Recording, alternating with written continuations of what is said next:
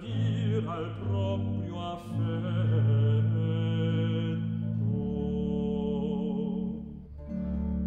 Quinci biasmo e periglio già sovrastarti veggio, onde movo dal ciel per darti aiuto.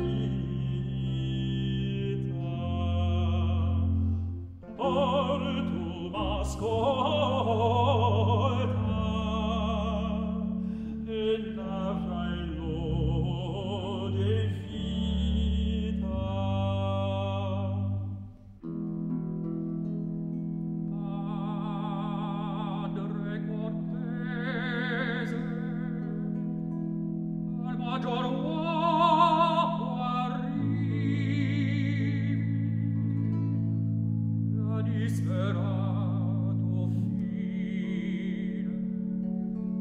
ad estremo dolore.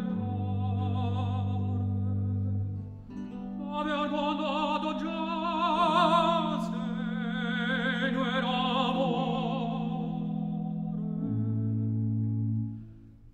eccomi dunque attento a tue ragioni celeste padre.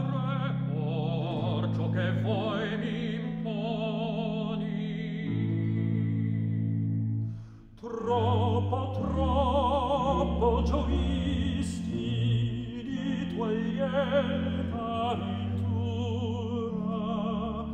or troppo piangi tua sorte acerba e dura.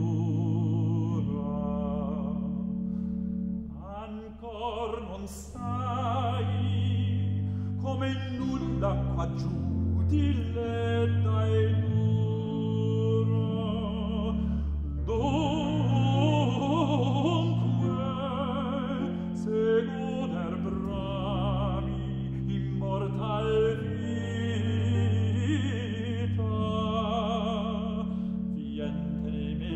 alte Kassette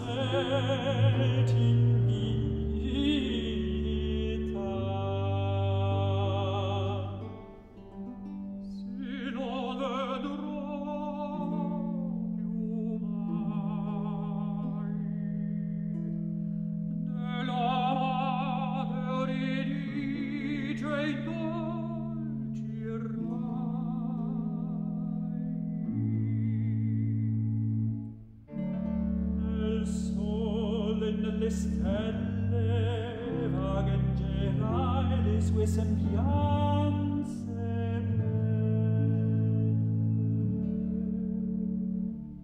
E dico tanto padre sarei non degno figlio, se non seguissi il tuo fedel consiglio.